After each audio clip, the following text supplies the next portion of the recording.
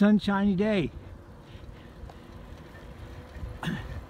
But snow is still here a little bit. Pretty day out in Madison County. This is February 25th, right in there. It's a Friday. And we're out training for the bike ride. Sunshiny day. Not bad. Supposed to be 47, more like 40 with a east wind. I'll get on the way home, probably about 10 miles an hour or better. Okay, it's the sunset, three hours exactly.